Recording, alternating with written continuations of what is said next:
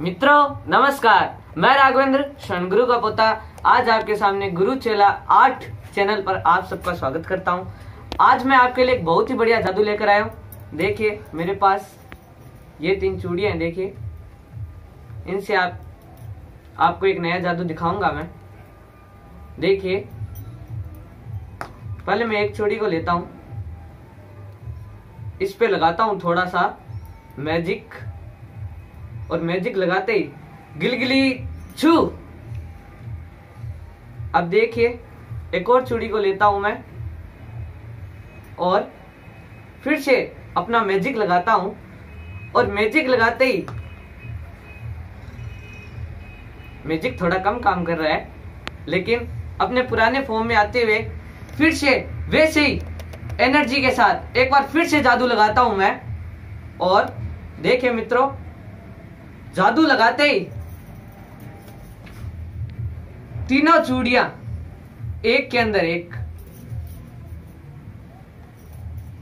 ये जादू कैसे हुआ? इस जादू का क्या रहस्य है? ये जानने से पहले मैं आपसे एक सवाल पूछना चाहता हूँ, मित्रों। आप बताइए, किस देश का राष्ट्रीय पशु सांड है? हम अपनी भाषा में कहते हैं गोदा। वही किस देश का राष्ट्रीय पशु सांड है? फटाफट कमेंट करके बताइए। जल्दी से बताइए मित्रों। और जब तक आप कमेंट करते हैं, मैं आपको इस जादू के रहस्य पर आता हूँ।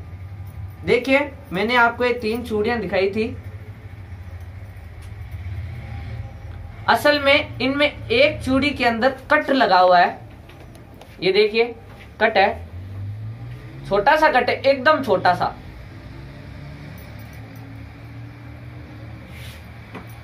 जब मैं आपको जादू दिखाता हूँ तो मैं इस कट के आगे इस कट को छुपा लेता हूँ। फिर एक चूड़ी को धीरे से इस कट के अंदर से इसके अंदर डाल देता हूँ, देखिए। ये कट था, इसके अंदर से चूड़ी डाली और ये इसके अंदर आ गई। ऐसे ही फिर दूसरी चूड़ी को लेता हूँ, फिर धीरे से फिर से कट के अंदर से इसको डाल देता हूँ और ये देखिए। फिर आप सोचते हैं तीनों एक के अंदर एक कैसे आई? यही जादू का रहस्य है। तो मित्रों, अब आपको अलविदा कहने से पहले वो आपसे एक प्रश्न पूछा था मैंने। उसका आपको मैं जवाब देना चाहता हूँ। वह देश है स्पेन, जिसका राष्ट्रीय पशु सांड है। तो धन्यवाद मित्रों, हम फिर मिलेंगे एक नई वीडियो में। तब तक के लिए मेरा आप सभी को नमस्कार। जय हिंद, जय भारत।